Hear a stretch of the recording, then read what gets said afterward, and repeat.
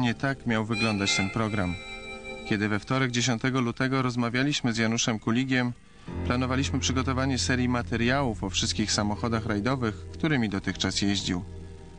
Pierwszy odcinek gotowy był już trzy dni później. Niestety, rzeczywistość okrutnie zadrwiła sobie z jego i naszych planów. Janusz odszedł właśnie tego dnia, pozostawiając z bólu najbliższych, przyjaciół, konkurentów i tysiące wiernych kibiców. Wywiad, którego nam udzielił, mający być zaledwie wstępem do nowego etapu, okazał się podsumowaniem jego tragicznie przerwanej kariery.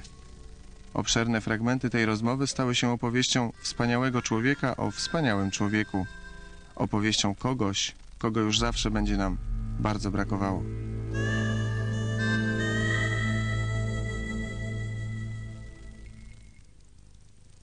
Po raz pierwszy użyłem lewej nogi na hamulcu właśnie jadąc maluchem. To była sytuacja bardzo zabawna na rajdzie Elmotu. Użyłem, zrobiłem to w zasadzie podświadomie. Nie do końca wiedziałem wtedy, co robię. Natomiast czułem, że przód samochodu mi odjeżdża.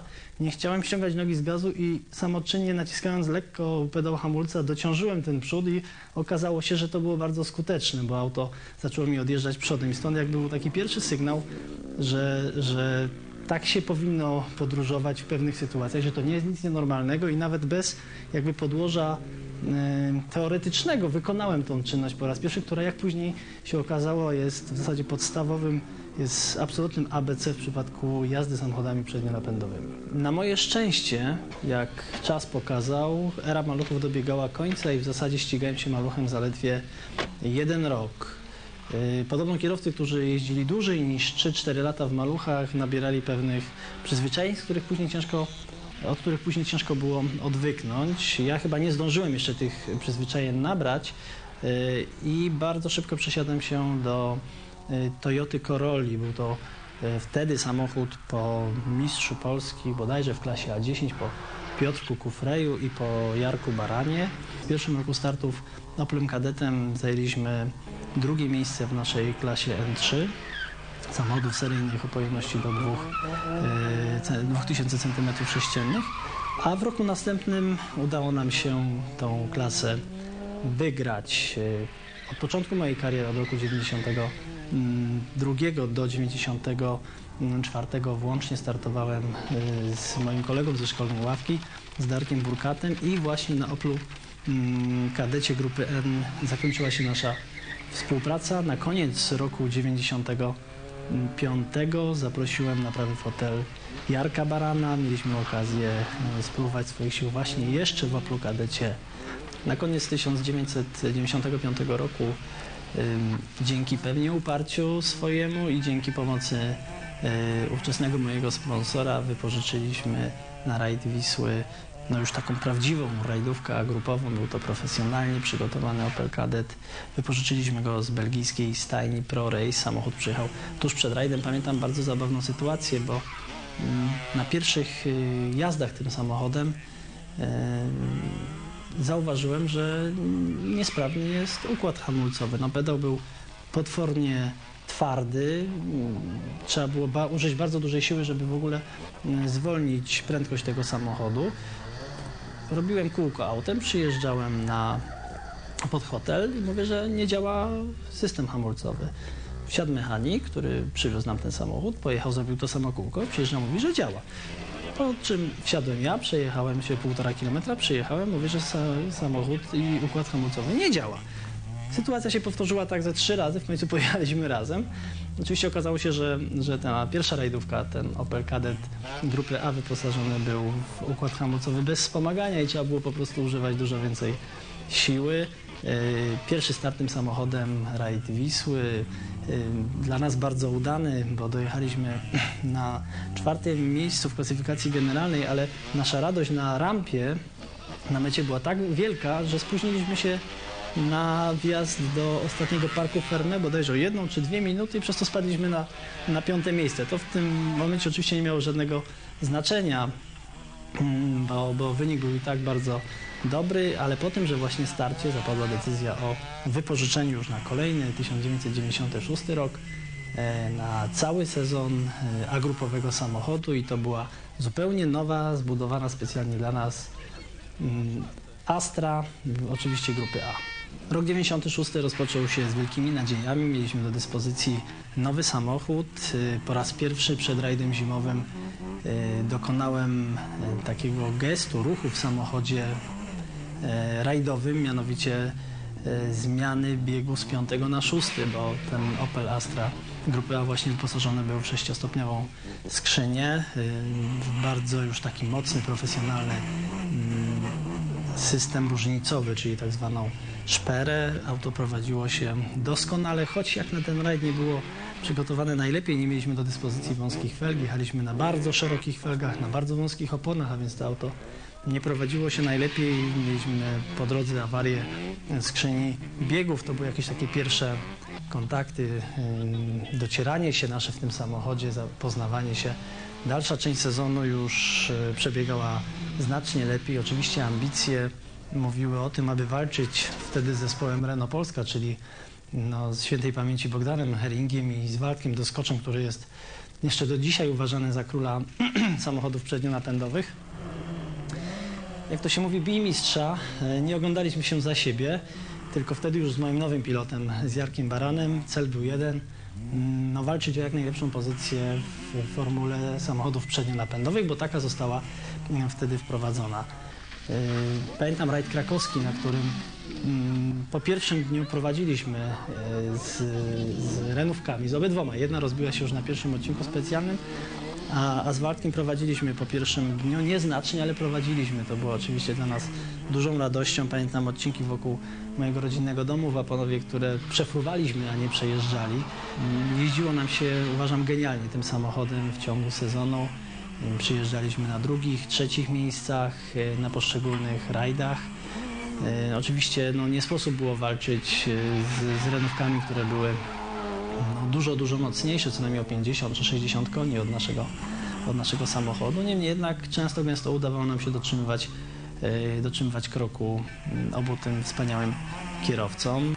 Rok zakończony mm, bardzo dobrze. e, Przede wszystkim zakończony propozycją e, jednego startu, w zasadzie dwóch startów właśnie już w zespole Renault, samochodem Renault Clio Maxi. Samochód oczywiście jakby z innej bajki. Bardzo szybki, bardzo wymagający, ale też dający mm, bardzo dużo mm, przyjemności, nauczący takiego refleksu, agresji. No i przyszedł grudzień roku 95, 96.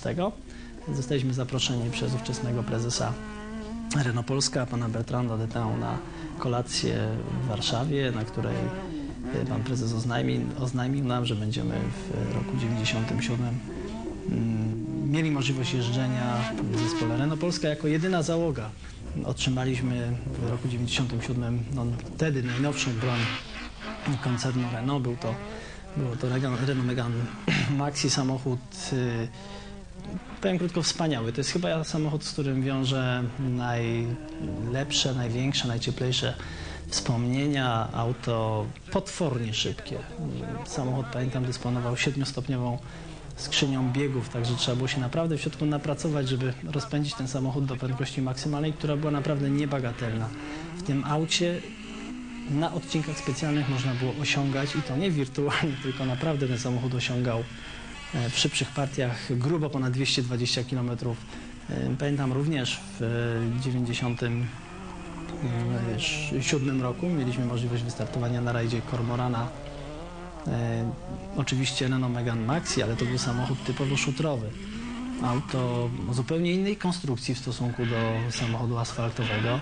Powiedziałbym taki jeżdżący pancernik, który doskonale, doskonale, doskonale wybierało dziury. W zasadzie em, no nie było przeszkód na drodze, którym nie dałoby się tym samochodem pokonać. Prowadziło się genialnie i pamiętam nasze zaskoczenie po, po dwóch czy trzech pierwszych odcinkach specjalnych, że traciliśmy do samochodów napędowych zaledwie kilka sekund, y, także to nie było, nie było dużo. Megane Maxi to była dla mnie tak naprawdę szkoła jazdy. Szkoła jazdy, szkoła przetrwania. Yy, niewiarygodnie agresywne auto, w ostatniej specyfikacji dysponujące mocą 315 koni mechanicznych przy napędzie na przednią oś. Pamiętam, mm, do w zasadzie trzeciego biegu nie można było operować gazem zbyt gwałtownie, bo zrywał przyczepność. Także mm, no to się w dzisiejszych przednionapędowych samochodach już nie zdarza. Y, Samochód, y, powiedziałbym, im y, jeździło się na wyższych biegach, tym stwarzający większą przyjemność. Genialnie prowadzący się przy bardzo dużych prędkościach. No, nasze odcinki specjalne, nasze polskie OS-y są bardzo szybkie, a więc to było, można powiedzieć, mm, idealne, idealne warunki dla tego samochodu. I jak się później okazało, samochód bardzo taki łatwy, bardzo szybko się nim nauczyłem podróżować. Samochód, który naprawdę wiele wybaczał, jak większość samochodów przednionapędowych pozwalał wychodzić czasami z takich opresji, z których y, samochodem czteronapędowym już nie ma powrotu.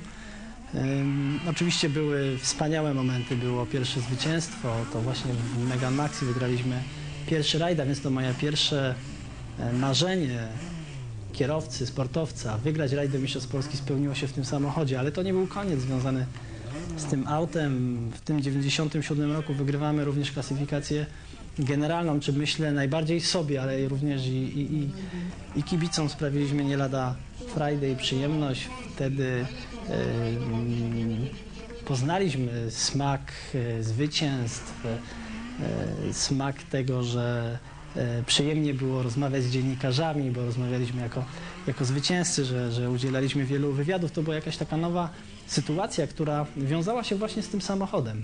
Ta przyjemność, nie, niebywała przyjemność jazdy tym samochodem trwała dwa lata w roku 98. Co prawda nie wygraliśmy już Mistrzostw Polski, przyjechaliśmy na drugim miejscu, ale niestety dla nas niestety zapadła decyzja o mm, zakończeniu działalności rajdowej zespołu Polska. Co prawda mm, nie czekaliśmy y, zbyt długo na nowe propozycje, bo już na rajdzie Wisły mm, trwały negocjacje z potencjalnym naszym nowym sponsorem, czy nowymi sponsorami, bo to była cała grupa. No i od roku 90 9 przesiadamy się do samochodów czteronapędowych już ze znaczkiem WRC. W roku 99 dostaliśmy możliwość pojechania e, magicznym samochodem z literkami WRC. Był to Ford, wtedy Escort jeszcze. E, Samochód, który wydaje mi się, że ładniej wyglądał niż jeździł. Auto prezentowało się doskonale, ale pamiętam nasze pierwsze spotkanie z tym samochodem na mm, lotnisku gdzieś głęboko w Anglii, na którym szef e, działu sportu Forda Malcolm Wilson prezentował nam e, ten samochód. E, Pamiętam pierwsze metry tym, tym autem, po przesiadce oczywiście z Megana. Po chwili jazdy wsiadł Jarek Baran, mój pilot. Wystartowaliśmy, Jarek mówi, no to odkręć. W sensie pokaż możliwości tego samochodu. Moja odpowiedź była, ja już odkręciłem. Czyli generalnie byliśmy troszeczkę rozczarowani e, parametrami tego samochodu, ale e, myślę, że te warunki w Anglii nie były zbyt korzystne dla prezentacji tego samochodu. Wystartowaliśmy tym samochodem w Polsce po raz pierwszy na rajdzie zimowym. No tu niestety za dużo szczęścia nie było. Trapiły nas ciągłe problemy techniczne. Mieliśmy, mieliśmy jedną w zasadzie za drugą awarię elektryczną w samochodzie. Skończyło, rajd skończyliśmy z trzema akumulatorami, a w zasadzie Jarek skończył z trzema akumulatorami pod nogami. W trakcie jazdy musiał te akumulatory przełączać, bo, bo samochód tracił mm, zasilanie. Yy, Pierwszy rajd nie był, przyznam szczerze, najbardziej udany i to też nie była taka sytuacja dla nas zbyt komfortowa. Natomiast y, na pewno zespół był potężny, ponieważ tuż przed rajdem zimowym miałem okazję pojeździć sobie czteronapędowym samochodem, jakim właśnie był Ford Escort w Finlandii i to pod okiem Sebastiana Lindholma i od wtedy właśnie od roku 99 zaczęła się również e, moja znajomość z tym kierowcą, sześciokrotnym mistrzem Finlandii, który nauczył mnie później, jak należy posługiwać się samochodami czteronapędowymi właśnie w takich e, warunkach śniegu, lodu czy szutru. Mm, Jednym z kolejnych, na jednym z kolejnych startów e, Fordem Escortem no też nie popisaliśmy się zbytnio, bo na rajdzie w Krakowie, na rajdzie polskim wtedy tuż obok mojego domu bardzo spektakularnie spaliliśmy tego eskorta. Samochód wpadł do rowu. To był taki, powiedziałbym, pierwszy wypadek, gdzie przetoczyliśmy się samochodem przez dach. Ale w rowie było bardzo miękko, nie było nic twardego, więc auto absolutnie nadawało się dalej do, mm, do używania. Niestety jeden z elementów olejowych prawdopodobnie nie wytrzymał, spadł na rozgrzane kolektory wydechowe, na rozgrzany układ hamulcowy. Samochód się zapalił. Mm, Zanim zdążyliśmy wysiąść z auta, auto już bardzo mocno płonęło. Niestety z samochodu praktycznie nie zostało nic. Mm, Na kolejny rajd, na rajd Cormorana otrzymaliśmy nowszy egzemplarz, ale dalej oczywiście Forda Escorta WRC. I to była już prawdziwa rajdówka. To był samochód, którym wcześniej podróżował nie kto inny jak e, Marco Martin, a więc auto z najlepszymi referencjami. Faktycznie samochód różniący się znacznie od tego naszego pierwszego Escorta, dużo młodsze, lepiej zaawansowane technicznie, już wyposażone we wszystkie te gadżety, nowinki, w które auto WRC powinno być wyposażone. Samochód już bardzo dobrze prowadzący się. Pamiętam przed rajdem Cormorana przyjechał nawet Stig Blomqvist, aby y, podszkolić mnie w jeździe po olsztyńskich szutrach. No i tutaj trzeci odcinek specjalny również bardzo spektakularnie przewracamy ten samochód na dach. Przyznam szczerze, że wtedy zachwiała się moja psychika i wiara w siebie, że, że może się udać, bo to był drugi rajd i drugi z rzędu y, wypadek i drugi raz przetaczamy się przez dach. Y, Na szczęście tym razem samochód się nie zapalił. Na szczęście jego y, uszkodzenia, choć wydawały się duże, nie były takie duże, mogliśmy kontynuować. Oczywiście na odcinku straciliśmy trochę czasu, ale, ale ten samochód taki pogięty, wyglądający naprawdę nieciekawie, dowiózł nas y, do, do mety rajdu, na którym notabene zajęliśmy jeszcze drugie miejsce w klasyfikacji generalnej tuż za Krzyśkiem Hołowczycem. E, Nie udało się wygrać Mistrzostw Polski, e, tytuł przeszedł nam koło nosa, ale to był bardzo sezon rozwojowy, sezon, w którym w zasadzie uczyłem się podróżować samochodem czteronapędowym. E, No i przyszedł rok 2000, rok bardzo ważny, ponieważ otrzymaliśmy jako jedna z pierwszych załóg w Europie najnowszą broń Forda. To był Ford Focus WRC, wtedy specyfikacji z roku 99. No, pamiętam całe zamieszanie medialne tuż przed rajdem zimowym, kiedy to debiutowaliśmy tym samochodem. Niestety nasz wspaniały Ford Focus, który tym razem podczas pierwszych jazd zrobił naprawdę piorunujące wrażenie na mnie, Zepsuł się. Drobna, drobna przesuwka w skrzyni biegów zablokowała skrzynię tak skutecznie, że straciliśmy wszystkie biegi i, i, i, i tuż na mecie czwartego, pierwszego odcinka specjalnego, czy tuż po mecie pierwszego odcinka specjalnego zmuszeni byliśmy wycofać się z rajdu. Jak później okazało się, mm, no ten element był niedopracowany w tym samochodzie i został zaraz po tej naszej przypadłości wymieniony we wszystkich Fordach, również w tych Fordach fabrycznych, także niejako byliśmy tą myszką doświadczalną, na której akurat ta bolączka mm, wyszła. Mm, Samochód później już spisywał się doskonale. Startowaliśmy w całym programie Mistrzostw Polski. Mieliśmy również okazję wyjechać mm, Fordem Focusem poza, poza Polską. Samochód, jak się okazało, y, bardzo odporny na nasze polskie warunki. Y, Nie mieliśmy już później żadnych problemów technicznych z autem. Samochód wypożyczony ze stajni MLP spisywał się doskonale, bardzo szybki, genialne zawieszenie, które spisywało się we wszelkich warunkach i na szutrze, i e, na nawierzchniach mokrych, na asfalcie, i na, i na nawierzchniach suchych.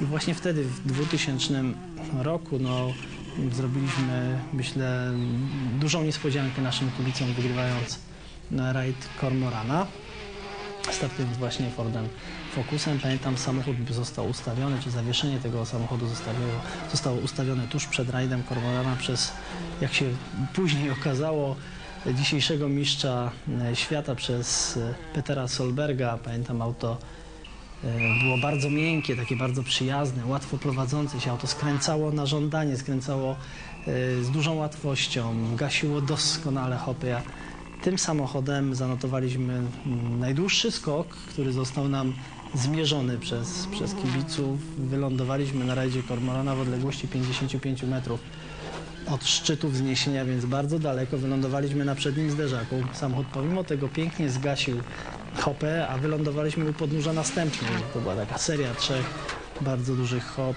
Sam byłem zaskoczony. Po, wy, po, po, po wyfrunięciu tym samochodem mm, w powietrze pożałowałem, że nie zdjąłem nogi z gazu przed, przed szczytem.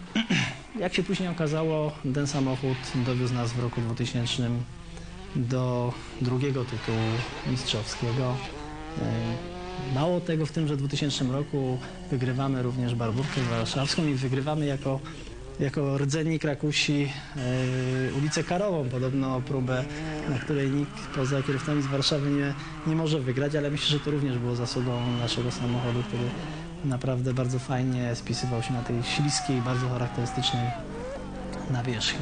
Rok 2001 stał pod znakiem bardzo zaciętej walki o każdy odcinek specjalny, o każde zwycięstwo na tym odcinku specjalnym, o każde zwycięstwo poszczególnej eliminacji. Pięć bardzo mocnych zespołów e, po siedmiu e, bardzo chyba udanych dla kibiców i dla zawodników rundach e, wy, wyłonił się zwycięstwa. Udało nam się wygrać te mistrzostwa, ale udało nam się wygrać udało się to chyba odpowiednie słowo, bo przeżyliśmy dużą chwilę grozy na dosłownie ostatnim, mm, na ostatnich metrach ostatniej próby rajdu warszawskiego na Bemowie, gdzie już e, troszeczkę może rozkojarzony, uradowany tym, że już to zwycięstwo praktycznie mam w zasięgu dłoni. e, Mało precyzyjnie wjechałem w ostatni zakręt, zahaczając bardzo delikatnie wewnętrzną stroną samochodu, wewnętrzną częścią opony o, o oponę, z której była ustawiona szykana. Samochód podbiło i w bardzo spektakularny sposób na dwóch kołach przekraczaliśmy metę lotną. Pamiętam e, wyraz e, twarzy kibiców na mecie, którzy na moment e, zaniemowili, czy to auto się przewróci dalej, czy, czy pozostanie na kołach. Samochód na szczęście powrócił na cztery koła. My oddychnęliśmy oczywiście z ulgą i już mogliśmy dopuścić do siebie myśl, że w roku 2001 tam zostaniemy mistrzami Polski. Oprócz wygrania rajdowych mistrzostw Polski wygraliśmy również w klasyfikacji generalnej rajdowe samochodowe mistrzostwa Słowacji i przy okazji e, rajdowe mistrzostwa Europy Centralnej. Także był to taki rok zwieńczony wieloma sukcesami. Rok 2002 rozpoczął się dla nas jakby w nowej erze, w nowym wymiarze już bez e, sponsorów, jakimi były firmy tytoniowe. Realia okazały się bardzo brutalne. Pamiętam do mm, pierwszych dni lutego nie, była, nie było wiadomo, czy w ogóle wystartuje jakimkolwiek samochodem w jakichkolwiek mistrzostwach. Tuż przed rajdem zimowym otrzymałem dość nieoczekiwanie propozycję zespołu Seata do, do wystartowania właśnie w Mistrzostwach Polskich takim samochodem. Związek mój z Seatem nie trwał długo. Można powiedzieć zaledwie trzy rajdy. Mm, W połowie, czy tuż przed połową sezonu zdecydowaliśmy o, o wystartowaniu. Stworzyła się taka możliwość przede wszystkim pojechania rajdowych samochodowych mistrzostw Europy za sterami znowu Forda Focusa WRC z czeską stajnią Jolly Club. Y, Samochód, który początkowo dostaliśmy do dyspozycji, był to egzemplarz z roku 99, a więc takim, taki, jakim już kiedyś wcześniej jeździłem. W trakcie sezonu otrzymaliśmy nowszy egzemplarz. y, Był to samochód specyfikacji z roku 2000, ale nim startowaliśmy zaledwie dwa albo trzy razy. E, Sytuacja w y, tymże 2002 roku była dla nas bardzo korzystna. W końcówce sezonu mieliśmy w zasadzie mm, taką samą ilość punktów jak nasz największy rywal Renato Travaglia, m, z którym, z którym mieliśmy stoczyć ostateczny bój o, o, o tytuł mistrza we Francji na rajdzie Antibes.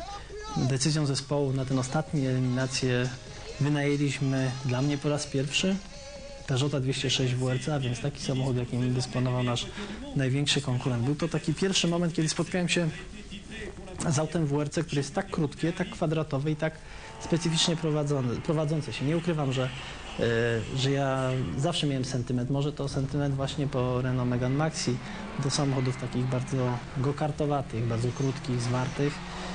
E, I przyznam, że dosłownie po kilkuset metrach jazdy tym samochodem e, natychmiast się z nim zrozumiałem.